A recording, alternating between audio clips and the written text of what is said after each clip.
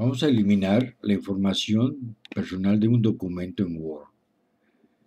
Como Word no se limita más a la edición simple de texto, pueden tener información privada que no seas compartir, como detalles del autor, quién lo hizo, el tema y títulos, la hora. Esto Word lo inserta automáticamente. Cuando lo manda uno, la otra persona puede ver esta información en el documento.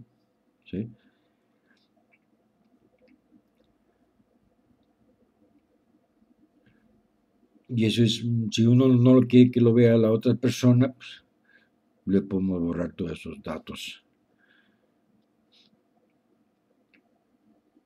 Que no, no, que son muy privados.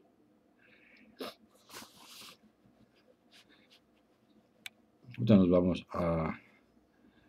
El programa se llama Inspector del Documento.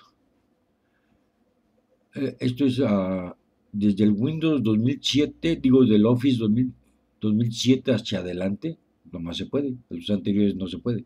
Bueno, también, pero eh, no me acuerdo cuál era. En los 2006, 5, 4, 3, 2003. Que es parecido. como entonces, bueno, vamos aquí archivo, inspeccionar documentos. Vean esto, propiedades, todo esto del lado derecho aquí, del lado derecho, esto marco, esos son los datos personales. Aquí creamos una copia, tenemos que crear una copia para eh, el original, a veces no se puede recuperar los datos, entonces hacemos una copia y en la copia lo hacemos que todas las propiedades desaparezcan damos a inspeccionar, todos los datos tienen títulos contraídos, datos XML, y al inspeccionar decimos encontré siguiente información del documento, propiedades del documento, ahora le damos quitar todo.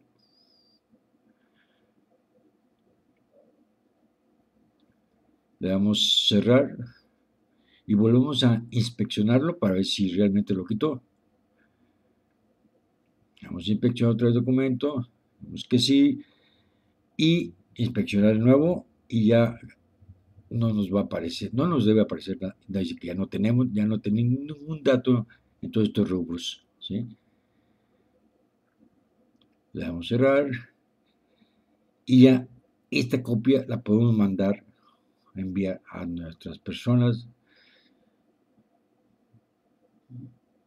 para que ya no van a tener esos datos personales.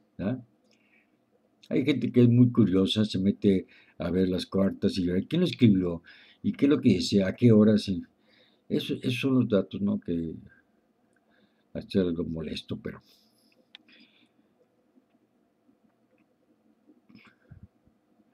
Es algo sencillo pues, para que no... Me gustó, me gusta esto para que las cartas no se vayan así. Esperemos, esperemos que, que sea de su agrado este, este tips.